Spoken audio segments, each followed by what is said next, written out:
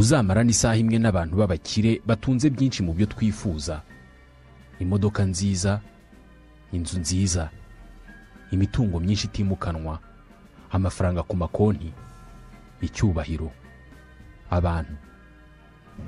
Nubwo mwamarana iminota mike ntabwo uzabura kubona ko asa n'uhangayikishijwe no kubona ubundi butunzi bwiyongera ku bwo afite. Buri kanya telefoni zivuga ku buryo yabona andi mafaranga. Ibiganiro byuzuyemo imishinga ibyara izindi nyungu. Uzajya muri superimarishe cyangwa se irindi soko rinini ubundi ugende witegereza abantu mu maso. Uzasoma umuhangayiko mu ndoro zabo. Bose bararangaye barimo barashakisha ibyo bagura. Ndabasuhuje nitwa Ismael mwanafunzi. Twebwe abantu icyifuzo cya mbere cy'ubuzima bwacu ni ugutunga. Kuba hari ibintu ufite. Hari ikibazo kimwe. Hari ikintu ushobora gutunga utagikuye mu biganza by'undi? Ushobora kugira ubutunzi hatari undi wabutakaje kandi ubabaye kukurusha? Uri umucuruzi ukomeye w'ibishyimbo. Mu bubiko bwawe ufite toni magana atanu. Ubwo igiciro cyabyo cyazamutse kikagera ku bihumbi bibiri ku kiro kimwe amafaranga yawe yarazamutse cyane ariko yavuye mu mifuko y'abakene badafite ubushobozi bwo kwigurira ibiro birenze bibiri. Kugwiza ubutunzi muri ubu buryo nta cyaha kibirimo. Niko tuvuga. Mu by'ukuri birashoboka kugira icyo utunga kitavuye ku wundi muntu. Twese uko twakabaye abantu nk'inyoko. Twaba twifitemo ubusambo. Mu mwaka w'igihumbi na magana atandatu na mirongo itanu na karindwi abanyaportugal bageze muri mozambique bwa mbere. Iki gihugu ubutaka bwacyo bwari bwuzuye zahabu. Abanyaportugal barayicukuye barapakira barajyana mu burayi.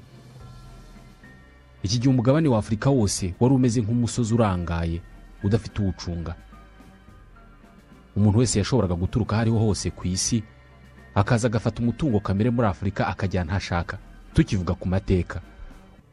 Ushaka kureba ukwikunda kw'abantu n'uburyo ubusambo no kwigwizaho ubutunzi biri muri kamere ka muntu wasubira mu mateka ya repubulika ya demokarasi ya kongo. Kilometero kare miliyoni ebyiri n'ibihumbi magana atatu na mirongo ine na bitanu z'ubuso. Igihugu kiri ku mwanya wa cumi na rimwe ku isi mu bunini cyari gikoronijwe n'umuntu umwe wenyine. Wacyitaga ubutaka bwe n'ibiburiho byose n'ababuriho bose bakaba be umwami w'ababirigi leopold wa kabiri.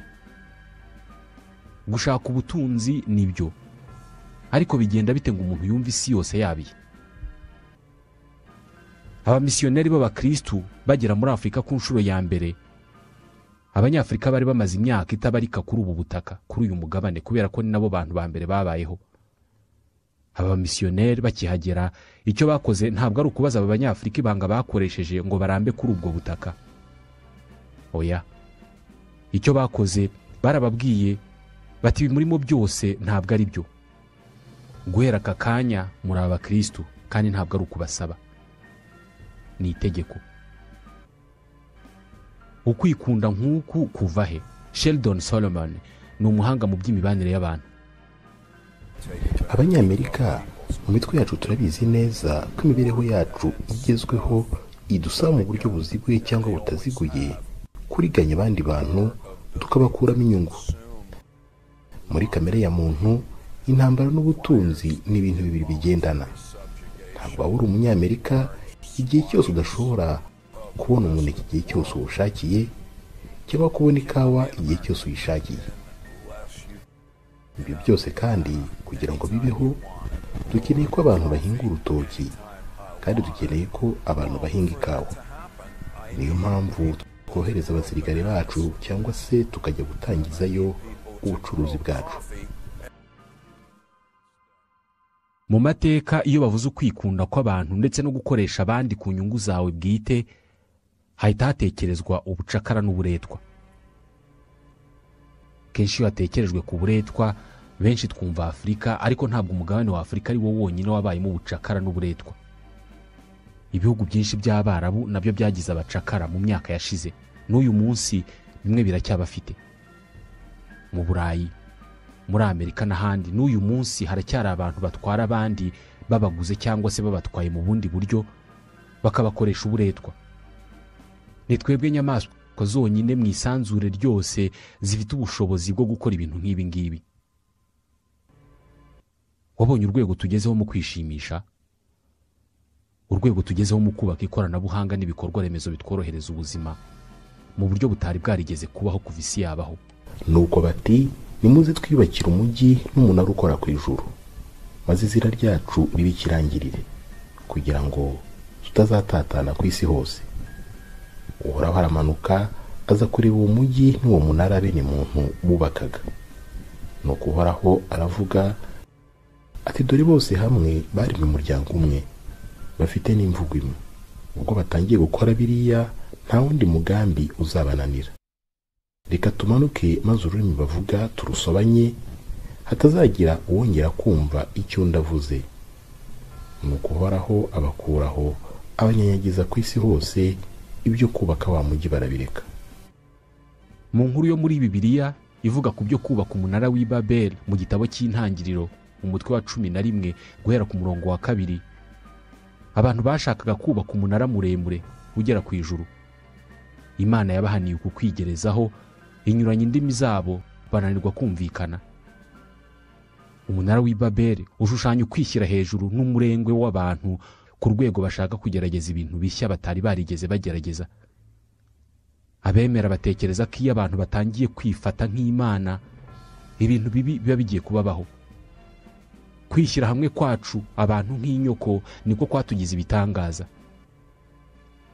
Niyo mpamvu twubaka imihanda ibitaro amashuri n'ibindi bikorwa remezo tubikuye mu mafaranga duhuriza hamwe mu byo twise imisoro. Ikibazo ni uko umunani ku ijana by'amafaranga yose akorerwa ku isi ajya guhishwa mu bihugu byorohereza abanyereza imisoro. Aya ni miliyari ibihumbi bitanu z'amapawundi. Buri mwaka leta z'ibihugu zihomba miliyari magana arindwi z'amadolari y'amerika agendeye mu misoro abantu banyereza. Abantu bakoreye amafaranga menshi cyangwa se bibye amafaranga menshi bahindura imibare y'ayo bakoreye cyangwa se binjije n'ibyo bayakoreyemo cyangwa se bakanahimba amazina y'ibigo bitabaho kugira ngo bagaragaze ko udufaranga duke bavuga ko bafite twavuye muri ibyo bigo cyangwa se ibyo bikorwa by'abaringa. Wumviye inkuru muri amerika y'epfo mu majyepfo ya cuba hari ibirwa bito byitwa kayima bituwe n'abantu ibihumbi mirongo itandatu na bitandatu babaho ubuzima busanzwe bw'abaturage babyuka bishakishiriza. Ariko ibi birwa birimo amafaranga atagira ingano. Ni ibirwa bisurwa na ba mukerarugendo batagira ingano ariko abenshi muri bo ni abanyapolitike bakomeye abacuruzi bafite ibikorwa bipima miliyari z'amadolari. Ibyamamare mu mikino no mu myidagaduro ndetse n'abandi bantu bakorera amafaranga menshi cyane. Aba bantu ntabwo bajya hano bagiye gusura inyanja no kureba ibyiza nyaburanga biri muri kayima ahubwo baba bagiye kubitsa amafaranga yabo. Ibi birwa biri mu byo bita paradis fiscal cyangwa se tax havens. Mu mategeko y'ibi birwa nta musoro ubaho ku mafaranga umuntu yakoreye mu mahanga kandi banki zaho zigira ibanga rikomeye. Ikindi ni uko bafasha abantu guhimba kompanyi zitabaho kugira ngo bagaragaze ko ariho bakuye amafaranga. Mu murwa mukuru w'ibi birwa witwa george town hari imwe mu nzu izwi kurusha izindi zose zo ku isi yitwa agland house. Ni umuturirwa usanzwe ungana nk'ingiyi duhora tubona y'ubucuruzi.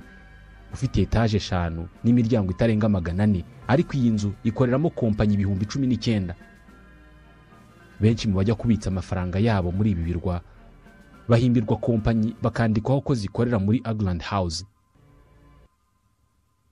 Mu bihumbi bibiri na cumi na kabiri perezida barack obama yabiteyemo igiparu avuga ko agland house ishobora kuba ariyo nzu nini ku isi cyangwa se ikaba ariyo nzu inyererezwamo imisoro myinshi ku isi. Mu bihumbi bibiri na cumi na kabiri amadolari arenga miliyari ibihumbi bibiri na magana atanu y'ibigo by'ubucuruzi by'abanyamerika yarahishwe mu makonti mu bihugu nk'ibirwa bya kayima. Bifasha abantu kunyereza imisoro n'andi mafaranga yose yabonetse mu buryo bubi. Ni amafaranga angana n'umusaruro mbumbe w'ubufaransa muri icyo gihe. Kwikunda n'ubusambo biri muri buri wese muri twebwe. Byemezwa ko ibihugu byo mu burengerazuba bw'isi byakize ku rwego bikizeho bigizwemo uruhare ku ijanisha runaka n'ibyavuye mu bihugu bikennye uyu munsi. Abantu bakorera amafaranga menshi bayakura mu gukorera amafaranga. Iyo ushoboye gukorera amafaranga ubwo bushobozi bwo gukorera amafaranga bugufasha gukorera andi mafaranga. Uko ngira amafaranga menshi niko mpimba amahirwe yo kugira andi mafaranga. Ntabwo byoroshye gukorera amafaranga igihe udafite amafaranga. Uyu munsi kubera uburyo tuyakunda bitewe n'ibyo twabonye akora arasa n'aho ariyo yabaye imana zigezweho. Nta muntu ukwiye kuvuga ko abantu batagomba gukira. Oya baba barakoze cyane kugira ngo bagere ku byo batunze. Ni uburenganzira bwabo gukira ariko hari abatagira icyo bitaho ku mibereho y'abandi basigaye. Bo icyo bakora ni ukurunda ubutunzi kandi bagakora ku buryo abakennye bakomeza gukena. Abakire bo ntabwo ari uko babibona. Philip ciyangwa ni umunyapolitike w'umushoramari muri zimbabwe. Ni umwe mu baterankunga bakomeye b'ishyaka rya zanu pf afite amahoteli n'inzu mu gihugu hose akagira imigabane mu bigo bikomeye by'ubucuruzi mu gihugu. Ibitekerezo ngenderaho biroroshye kubyumva. Ni umurongo muto cyane utandukanya umushoramari n'umugizi wa nabi. Kubera iki? Kubera ko ikintu cyose nungutse haba hari umuntu uri buvuge ko nakimuriganisha abashoramari twese turi kuri iyi si yaba Bill Gates yaba Richard Branson twese tubonwa nk'abagizi ba nabi. Ariko ibyo byose biterwa n'uko dutekereza mu buryo burenze ubw'abandi batekerezamo. Abakene baturanye n'abakene birirwana n'abakene bakorana n'abakene nta kibazo bakunda kugira mu birebana n'umuhangayiko. Ibibazo bivuka iyo babonye imibereho y'abakire. Cyangwa iyo umwe muri bakize. Iyo urimo kugenda mu gace gatuwe n'abakene benshi ukaba utwaye Mercedes Benz cyangwa Rolls Royce icyo ni kimwe mu bintu biba ushobora gukora. Kenshi abantu bakora ibyo ari nko kubwira abo bantu bati njye ndi mwiza kubarusha. Ntabwo muzigera mugera aho ngeze. Ni umufilozofe w'umunyafurika y'epfo witwa Pops Mohamed uyu munsi turasa n'abari mu bushorishori bw'ubutunzi bwacu n'imibereho yoroshye. Nibyo ibiciro ku masoko byarazamutse ariko ayo makuru dushobora kuyabona tutagiye ku isoko kubera ko dufite ikoranabuhanga riyatuzanira aho turi. Nibyo ibidutera indwara ni byinshi ariko ubuhanga mu buvuzi bwariyongereye cyane. Habayeho umubare runaka w'ibisekuru bikomeye by'abantu babaye ku isi. Abaziteke abayinka n'abandi. Aba bose bagiye bakora ibikorwa bikomeye byabagize ibitangaza. Ariko iyo usubiye inyuma mu mateka ukareba ibisekuru by'abantu bagiye bazima bazimye mu gihe babaga bageze mu bushorishori bw'imibereho yabo niba dutekereza ko tuzakomeza kongera umubare w'abantu kuri uyu mubumbe kandi bose bakagira imibereho nk'iyacu aho mu burengerazuba bw'isi ndatekereza ko imibereho yacu yo gukunda ibintu ariyo izaba intandaro yo kuzima kwacu. Ikibazo ni uko abarengera urusobe rw'ibinyabuzima bavuga ko twese twitwara nk'ingimbi n'abangavu. Ntabwo twitaye ku bizaba ejo. Icy'ingenzi ni uko twishima uyu munsi. Mu nkuru z'abagereki ba kera Prometheus yari umunyembaraga akaba n'umuhanga ukomeye cyane wabanaga n'imana. Kubera urukundo yari akunze abantu yibye imana umuriro awuzanira abantu. Icyo gihe imana yitwa Zeus yararakaye cyane ihanisha Prometheus kumubohera ku rutare. Ibikona bikajya biza kumurya bikamukuramo amaso adashobora kwitabara. Uyu Prometheus agereranywa n'imiterere y'abantu uyu munsi aho biteguye gukora icyo ari cyo cyose ngo ubuhangange n'ubutunzi bwabo byiyongere batitaye ku ngaruka izo ari zo zose bishobora kuzagira.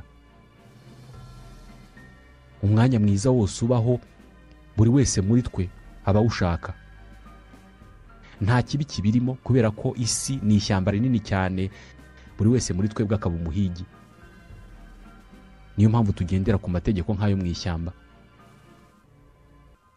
Impamvu umuntu umwe agura inkweto z'ibihumbi bitatu undi akagura inkweto z'ibihumbi ijana kandi zose akamaro kazo k'ibanze ari ukukurinda amahwa amabuye n'ubukonje. Ni uko izigurwa ibihumbi ijana zo usibye kukurindira ibirenge. Zinaguhindura undi muntu. Ukurikije uburyo duha agaciro ubutunzi. Abantu babiri umwe wambaye inkweto z'ibihumbi ijana n'undi wambaye inkweto z'ibihumbi bitatu ntabwo aba bantu ari bamwe. Muri make ibihumbi ijana wishyura kugira ngo baguhe inkweto ntabwo ari inkweto zonyine uba uguze ahubwo uba unaguze isura nshya. Sitatuwi sosiyale uba uguze uko abantu bazajya bakubona n'uko bazajya bagufata kubera ko bose inkweto z'ibihumbi ijana barazizi ndetse n'iz'ibihumbi bitatu barazizi. Iz'ibihumbi bitatu benshi barazifite. Ntabwo ari byiza kumera nk'abandi bose. Ni uburyo bwo kugaragaza urwego umuntu arimo ugereranije n'urw'abandi barimo. Umuntu afatwa neza hatarebwa ikimurimo imbere ahubwo hagendewe ku buryo yambaye hagendewe ku buryo agaragaza ko atunze. Uko wigaragaza bituma abantu babona ko ukize kurusha runaka kandi uko ukize kurusha runaka niko uba ufite ubudahangarwa bukurinda urupfu ugereranije n'abandi baturage bari hafi aho. No mu rusengero batwicaza mu myanya no ku ntebe zitandukanye bitewe n'amafaranga n'icyubahiro dufite. Ibi bigendana n'imiterere yacu yo gukunda intwari. Dukunda umuntu ufite akantu arusha abandi kandi wamenyekanye kuri ako kantu n'iyo byaba ari ukurya byinshi mu gihe gito. Upfa kuba ubirusha abandi kandi abantu bakaba babikuziho. Mu by'ukuri ubutunzi buhagije bungana iki? Birashoboka ko butunzi butabaho. Nanone mu nkuru zo mu bugiriki bwa kera havugwa inkuru y'umwami witwaga midasi midasi kubera gukunda ubutunzi yasabye imana diyonizose kumuha ubushobozi bwo guhindura zahabu ikintu cyose azajya akoraho. Icyifuzo cye cyarasubijwe maze icyo akozeho cyose kigahinduka zahabu. Apfa kuba yagikozeho gusa n'iyo byaba ibyo kurya cyangwa ibyo kunywa. Inkuru z'umufilozofe arisitote zivuga ko midasi yishwe n'inzara kubera ko ibyo yakoragaho byose byahindukaga zahabu. Zahabu yari iy'igiciro kimwe n'uyu munsi. Ariko ibi ngibi bihita bigaragaza uburyo aka gaciro kayo atari agaciro mu by'ukuri. Ntako twayihaye ni nk'amafaranga. Ibintu bifite agaciro ka nyako ntabwo bigurwa bibonekera ubuntu. Ni ibintu bine. Amazi ubutaka umwuka umuriro.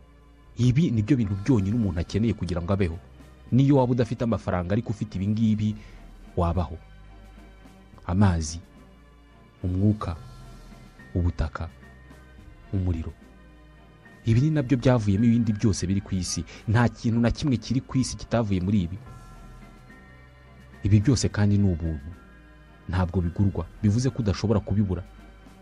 Nibyo unywa amazi uguze ariko nzi abantu benshi banywa amazi bataguze. Uvuga ko nta butaka ugira ariko ufite aho ushinze ibirenge. Nk'uko uhumeka ntawukwishyuza umuriro wota uva mu kibiriti waguze ariko nawe wawikorera. Mu by'ukuri ibintu bifite agaciro binatubeshaho ntabwo bigurwa kandi nta na kimwe kitava muri ibi. Inkuru ya midasi yo kwifuza guhindura zahabu ikintu cyose akozeho ntabwo itandukanye n'inkuru y'amafaranga uyu munsi. Nzi abantu yakwemera gukurwaho kimwe mu bice by'umubiri we kugira ngo ahabwe amafaranga. Abazi gukora imibare babara ko iyo utunze miliyari y'amadolari ubwo ni miliyari igihumbi z'amanyarwanda. Uba ushobora kubaho imyaka magana abiri na mirongo irindwi n'itatu udakora. Utinjiza irindi faranga na rimwe kandi buri munsi ukarya miliyoni icumi z'amafaranga y'u rwanda. Ni bangahe muri twebwe bashobora kubaho imyaka magana abiri na mirongo irindwi n'itatu? Ntabwo barenga zeru. Ufite miliyari imwe y'amadolari ni ukuvuga miliyari igihumbi z'amanyarwanda uba ushobora no kurya miliyoni mirongo itatu z'amanyarwanda buri munsi bitewe n'uko utazigera ubaho imyaka magana abiri. Nyamara abantu barakomeza bagakorera andi uyafite wese akubwira ko ashaka andi gusa nanone kuyakorera kwabo niko kubafasha gutanga imisoro bityo amafaranga yabo natwe tukaryaho. Kongera ubutunzi niyo nzira baturangira. Ko ari iy'ubusamo itugeza ku byishimo n'umunezero. Ikintu cyose uguze ku isoko bakubwira ko uguze umunezero. Twese twirukira ikintu cyose dukeka ko gitanga umunezero. Buri mpera z'icyumweru ku isi yose ni ibirori bishorwamo miliyoni z'amadolari. Buri mugoroba ni ibisindisha bikaze. Abantu bashakisha aho ariho hose haba hari igitonyanga cy'umunezero. Benshi muri twe bafite umwenda bamaze imyaka batambara. Ariko gutekereza ko uwo mwambaro ari uwawe kandi uhari bitanga umunezero utagira ingano. Uwo mwambaro utunze uguha umunezero.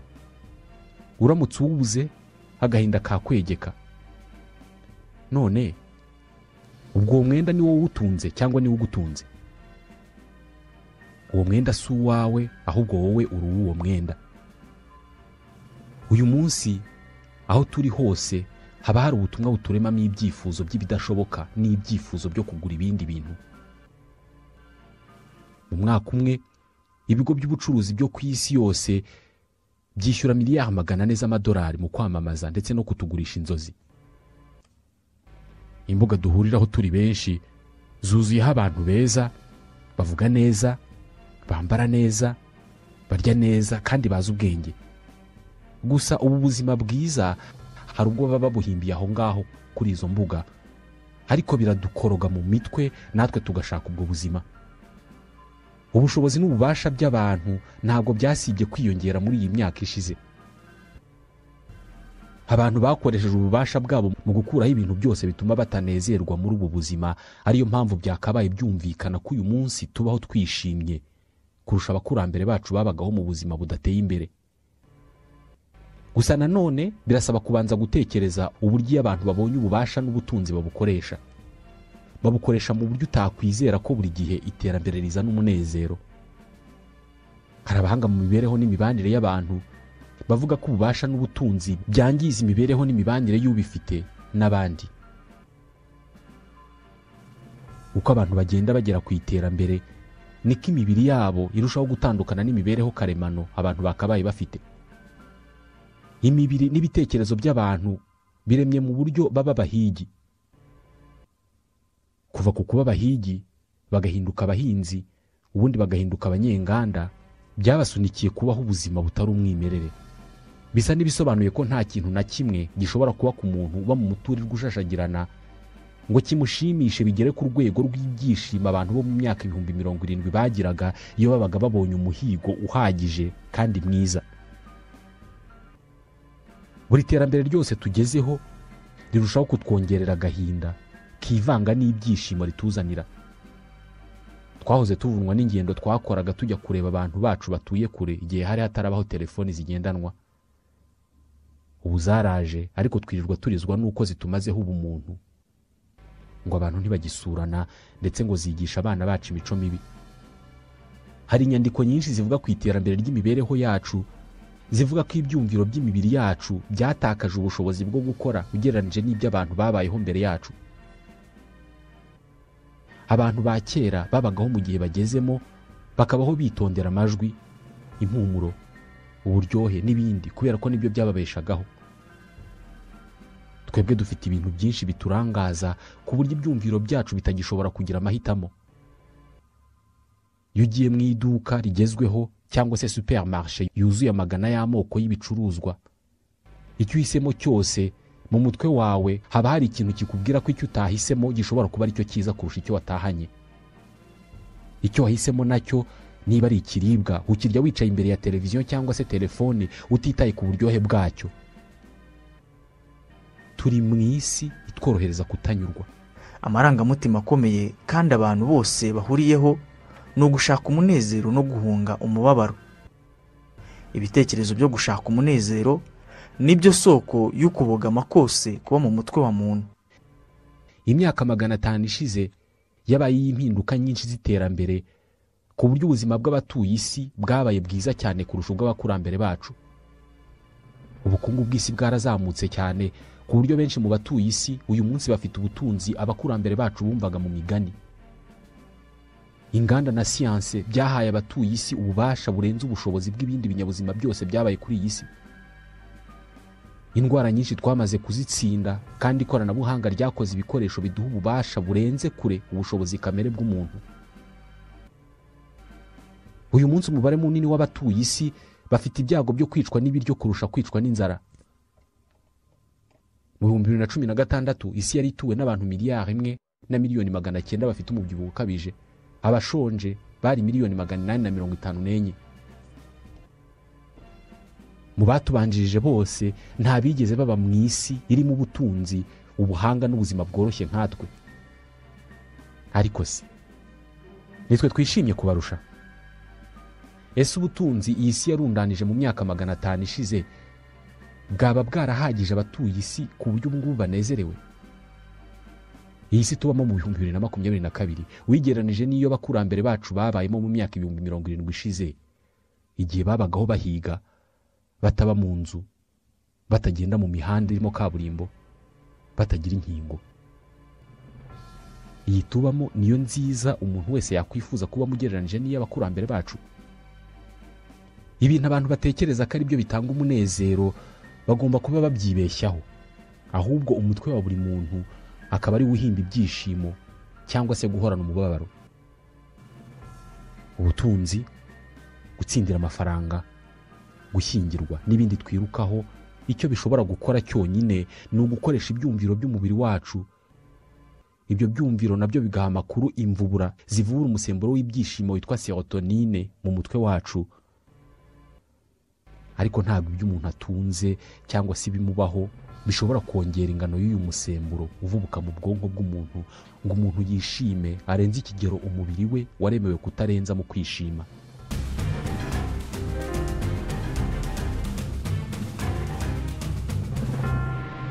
Umuntu umaze imyaka icumi atunze imodoka nziza buri gihe uko ayikubiseho amaso ahita yishima. Yamaze kuba ubuzima busanzwe. Gereranya umuturage wo mu gihugu nk'ubufaransa mu mwaka wa magana abiri n'umufaransa w'uyu munsi ukora muri imwe muri banki mpuzamahanga zikomeye. Umuturage wo mu mwaka wa magana abiri yabaga mu karuri kagondagonze gasakaje ibyatsi gashobora kuba gaturanye n'aho ajugunya imyanda n'aho yituma. Umukozi wa banki mu bufaransa uyu munsi we aba mu nzu nziza cyane izi ngizi zizwi nka penthouse. Yuzuyemo ikoranabuhanga ryo gushyushya no gukonjesha inzu iteretse ahantu hitegeye umujyi wose. Ibyakabaye ari ibisanzwe ni uko uyu munyamabanki yakabaye yishimye cyane kurusha umuturage wo mu mwaka wa magana abiri. Gusa abahanga mu by'imitekerereze n'imibereho y'abantu bemeza ko inzu y'akataraboneka ikoranabuhanga riyirimo cyangwa se akaruri kagondagonze atari byo bigena uko umuntu yiyumva mu buzima bwe. Igihe umuturage wo mu mwaka wa magana abiri yuzuzaga akaruri ke akabona uburyo azajya arara atarwana n'impyisi kandi adakonje. Ubwonko bwe bwahise buvura umusemburo w'ibyishimo wa serotonine. Buwugeza ku kigero runaka arishima cyane kubera ko yari yujuje inzu yari insinzi kuri we. Mu bihumbi bibiri na makumyabiri na kabiri wa munyamabanki nawe yishyuye ikiguzi cya nyuma cy'inzu ye y'akataraboneka mu murwa mukuru Paris. Nawe ubwonko bwe buvubura umusemburo wa serotonine buwugeza ku gipimo runaka cy'ibyishimo ndetse akoresha ibirori. Gusa ibyishimo by'aba bantu byombi ni bimwe. Bose biyumvise kimwe. Icyo ubwonko bureba ni ukumenya niba hari ikintu kibaye gituma buvubura umusemburo w'ibyishimo. Kandi iyo umusemburo uvubutse uza ari umwe. Haba ku muntu utsindiye miliyoni y'amadolari yari asanzwe atunze ibihumbi magana atanu by'amadolari cyangwa se umuntu uhawe ibihumbi magana abiri by'amanyarwanda atarigeze atunga ibihumbi mirongo itanu. Ibi byishimo ni bimwe. Abafite imyizerere irimo gutera imbere uyu munsi yitwa minimalism. Yo kudatunga ibintu byinshi badakeneye kandi bagakomeza kubaho. Batekereza ko mu by'ukuri abantu badashimishwa cyangwa se ngo bashamadukire amafaranga utunze. Imodoka ugendamo inzu utuyemo. Ahubwo ikibashishikaza ni ikikuvamo kijya kuri iyi si cyangwa se mu muryango mugari.